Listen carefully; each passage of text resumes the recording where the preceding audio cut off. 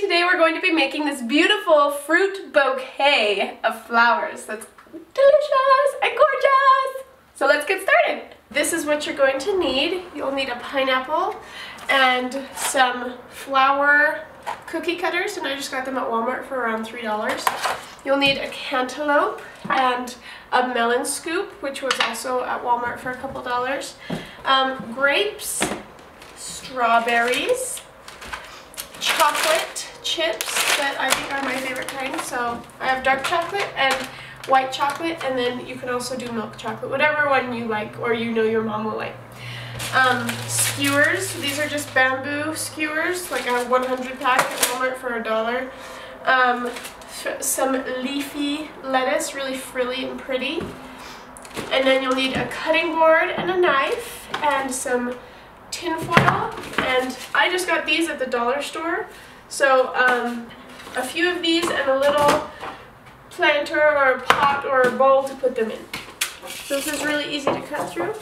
And I'm just kind of putting it in here. I want it to be about that tall. And I want to cut it at a slant a little bit just to kind of have it fit into the bucket a little bit better. Yeah. You might not even need all of these, but just do it in case. I'll definitely have to cut a slant off of this one.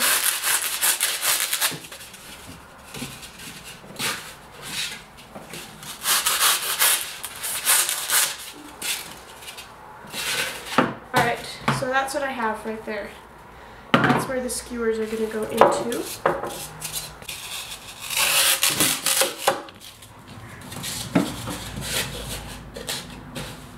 And I'm just kind of piecing it together, putting these wherever I feel like would help so it looks just like that. And I think that's about it. I'm just going to put some tin foil over it to kind of help give it a little bit more support and then we'll move on to the fruit. So now I have this floral foam in here in this bucket, and this was a dollar by the way. It was like 97 cents for this bucket, so that's a really good price. I love it. Um, I'm just going to take the tin foil and put it over the top, not only for support, but also so this foam has little little things that kind of stick to stuff, so that will keep it from getting on the food. So just like that. And the skewers should be able to just stick right into there. So now what we're going to do is with a cutting board and a knife and the pineapple, just go ahead and take your pineapple and start making about, um, I'm not sure, about this thickness of pineapple slices. Just try and make them about the same thickness all the way through. And I only have one pineapple, so the thinner they are, it just makes more flowers. Here are these cute flower uh, cookie cutters that I just got at Walmart. And there's a whole bunch of different sizes, which is perfect for this because I didn't know exactly what size I would need for the pineapple. So I think the, the biggest size is a little bit too big, but the second size down, it will be perfect. And I'm just going to take each pineapple slice and push it right down into the pineapple.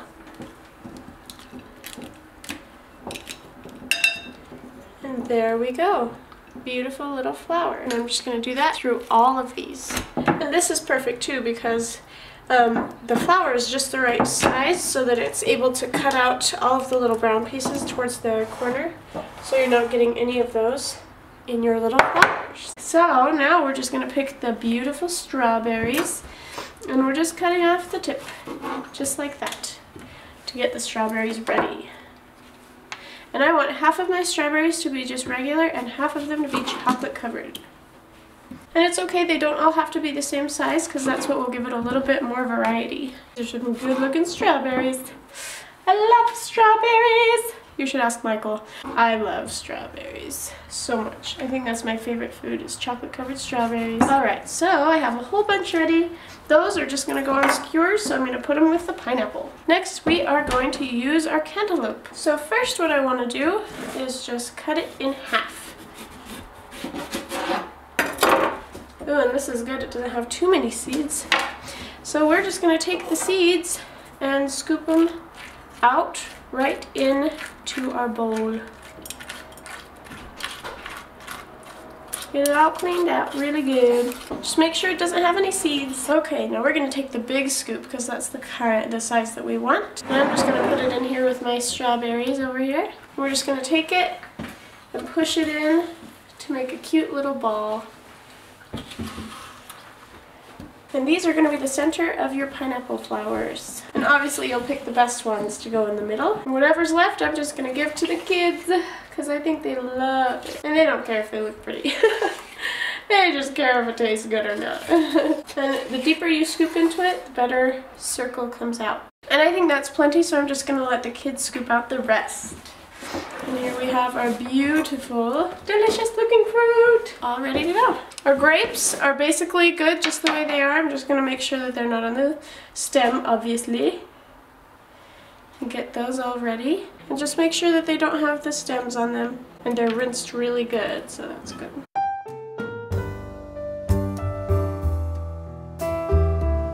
So now that we have the majority of our fruit all ready to go, you know me, and I can't do this without a little bit of chocolate.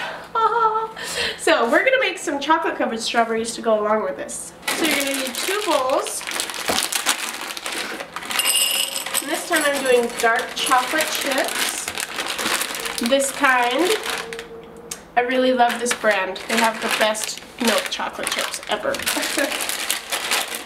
and a little bit of white chocolate chips.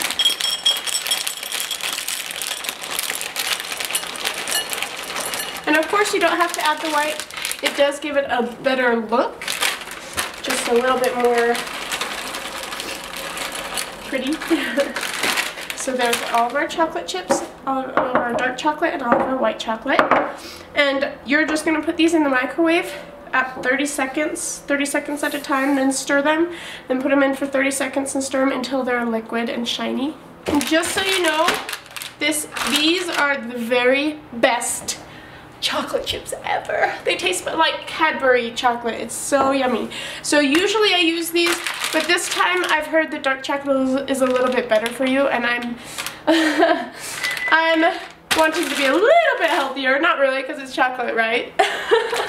but so I'm going to be using just the same brand, but um, semi-sweet chocolate.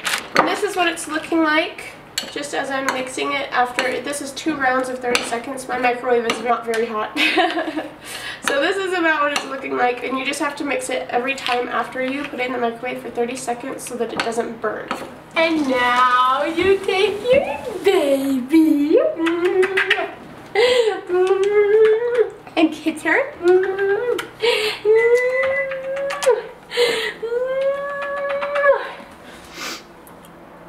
and that adds the sweetness. so after a few rounds of putting in the microwave at 30 seconds, it's starting to look like this. And I think that might be the last time. Yeah, because it's all starting to melt. The more I stir it, the more it melts. And just once it's smooth is when it's ready to use. And look at that. It's already smooth. Yummy!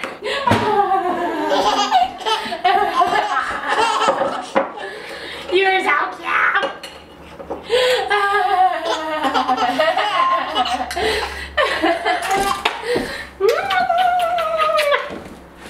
Woo! Almost got some feet in your chocolate! I love you. so, normally when I do chocolate covered strawberries, I actually don't put them on a skewer because I don't normally make a basket like this. but I think that's what we're going to do with these ones. You'll need some skewers. Oh, and make sure when you do the, your strawberries that they are completely dry. So here are my strawberries and they're still pretty wet. So I'm just going to get some paper towels, pick out the best ones, and those are the ones that I'm going to be using and dry them off. So here's our strawberry on the skewer. And I'm just going to take and roll it just like that into the chocolate and give it a little shake to get off that extra chocolate so it doesn't drip down once you put it in your basket. And then here, I'm just going to shake this off a little bit and start giving it a little bit more of a design.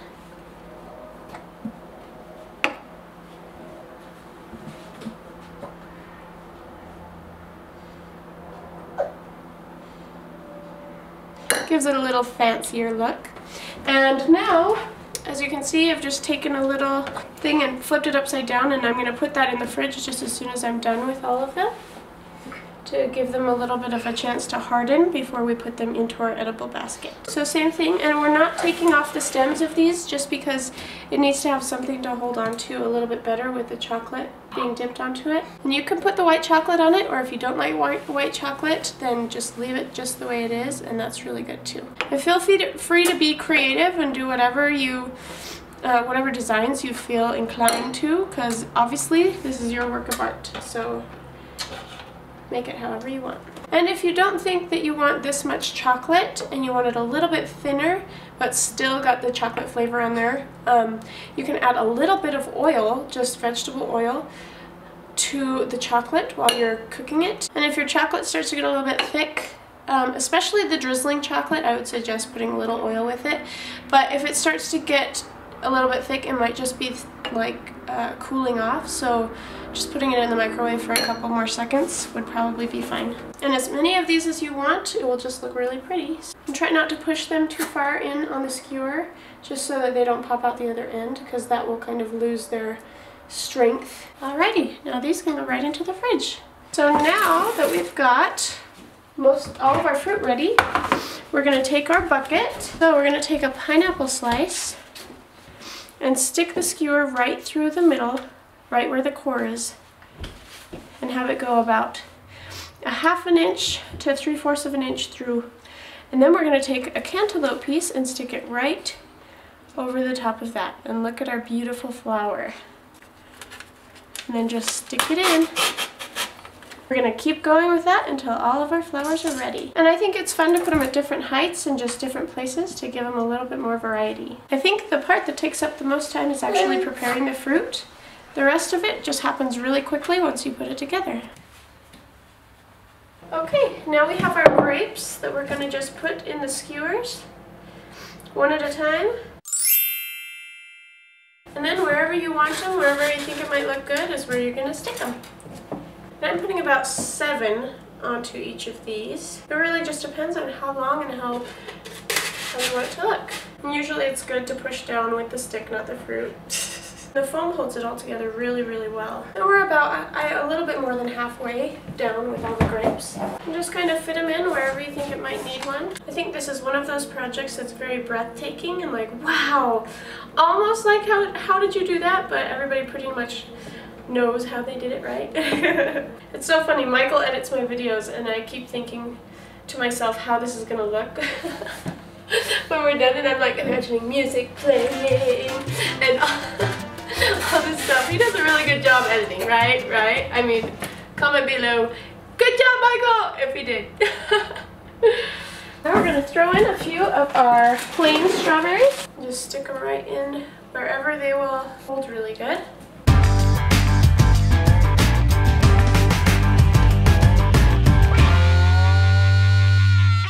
Towards the outside edges, I decided I want to push them in a little bit more just to make them look a little bit more round. So now that I have all my strawberries and everything put in here, I went around and actually pushed the strawberries down to the level of the flowers just because we want the grapes to really pop out more than the strawberries do.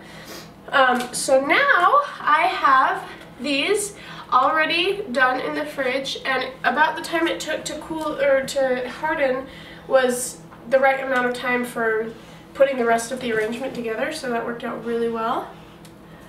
So I'm just going to push these in I'm just going to push them in at whatever points really look good and what level looks good.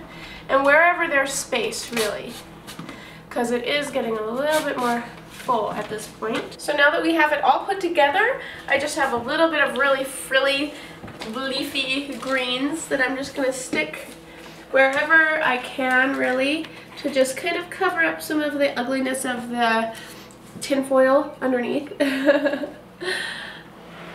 So it looks like it's coming out of a green garden area instead of a foam and tinfoil. and it's as easy as that. So the grand total, this is what's so interesting to me and awesome. The grand total, guess. Okay, that's enough time. was $13.68. By the time I put it all together and the amount that I used of each thing, there was lots of leftovers. So um, I got to use not even, most of everything that I bought, I didn't use the whole thing. And so um, you could make multiple with the amount that you spent. And I spent around 25, 24 for everything, but then I had tons left over, so it ended up being around $13, which was awesome! Okay, so you guys should try this. It's really cool and way easier than I expected it would be. So um, I hope you like my channel and I hope you love this. I want to eat it really bad, but I'm debating if I should give it to somebody or just eat it.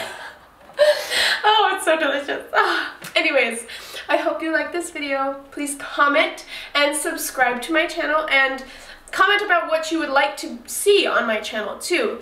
Anything that you think I should try out um, for you guys. And then like it and we'll see you next time. Happy Mother's Day!